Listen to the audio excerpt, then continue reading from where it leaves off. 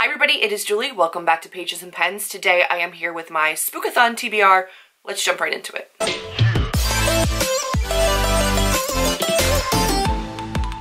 Spookathon is a readathon hosted by Kayla from over at Books and Lala, and it is running from October 14th to the 20th. And I will be vlogging that experience. I will not be daily vlogging it. I will have a week-long vlog.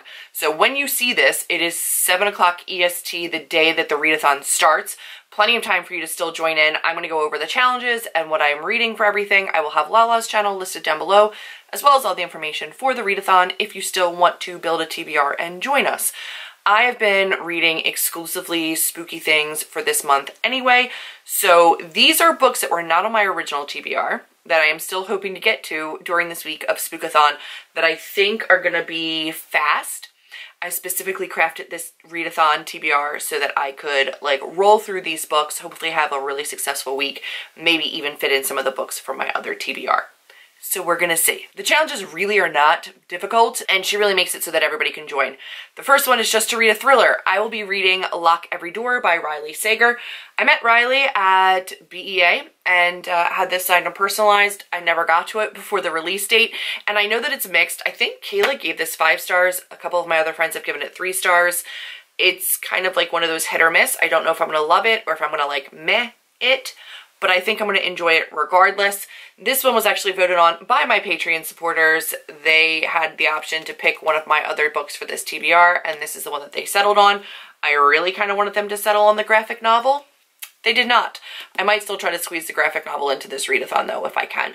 But uh, Lock Every Door by Riley Sager is my my thriller. So that's gonna happen. Then we have a book with red on the cover and I will be reading The Hollow Girl by Hillary Monahan. This one I believe is about a girl who is a witch or knows a witch and then she is I believe sexually assaulted by some boys and her and another girl and that girl is like near death and to bring that girl back from death's door she needs these ingredients for this like spell.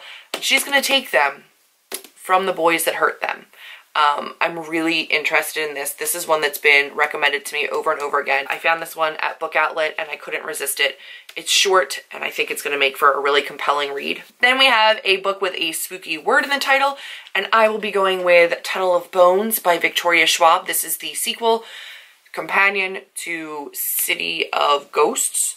This is a middle grade series about a girl whose parents are ghost hunters and this one is in Paris I'm really excited about this. I'm using uh, bones as my spooky word and we're gonna see how this one is. I believe there's also an audiobook for this on Hoopla. I might listen to it to help me through a little bit of the week but I really enjoyed the first book and I have a feeling I'm gonna really enjoy this one as well. This one was from Mel, from Mel to the Any for my birthday and I wanna make sure that I get to it soon. The next one is to read a book with a spooky setting and I can't think of anything spookier than The Haunting of Hill House which is literally about a haunted house.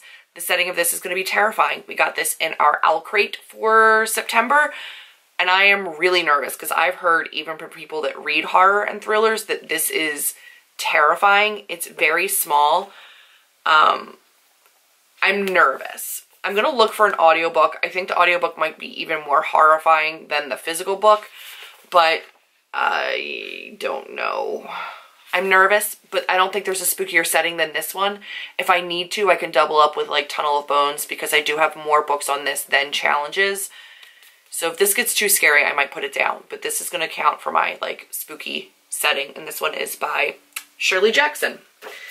Then we have read a book that you wouldn't normally read, and I have two for that. Both are middle grade thrillers. I don't read thrillers, and I don't read middle grade that often, despite the fact that Tunnel of Bones is also on this TBR but I have The Forgotten Girl by India Hill Brown. This is an arc that comes out in on November 5th.